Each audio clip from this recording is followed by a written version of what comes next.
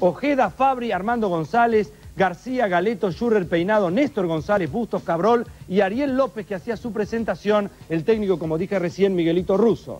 Para San Lorenzo, dirigido por el Bambino Veira, Pacet, Arevalo, Escudero, Sandoná, Carrizo, Lorenzo, Neto, Montserrat, Bennett, Pipo Gorosito que jugó su último partido hoy en San Lorenzo y Maidana. Otro de los que se retiraba, Jorge Vigliano.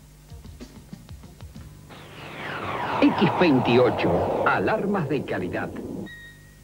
En esta jugada, Cabrol, con mucha agua. ¿Se cae Arevalo o lo empuja Ariel López? Enfrenta a Pacet 1 a 0. Y ese gol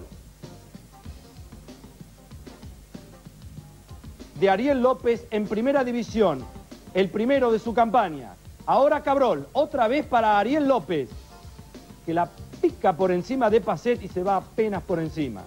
En el segundo tiempo, se la lleva Martínez, Pacet y salva Escudero.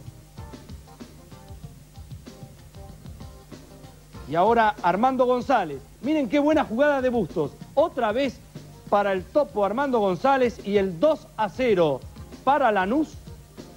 El amague ahí, la devolución.